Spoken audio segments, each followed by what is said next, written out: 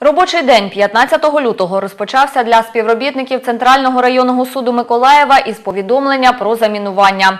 Анонімний дзвінок надійшов на спецлінію 102 о пів на 9 ранку. Невідомий пригрозив, що будівля вибухне через дві години.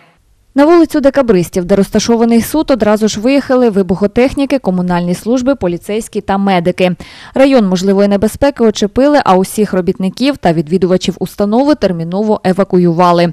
Після обстеження території виявилося, що повідомлення – злий жарт. Наразі правоохоронці шукають псевдомінера, а центральний суд продовжує працювати у штатному режимі.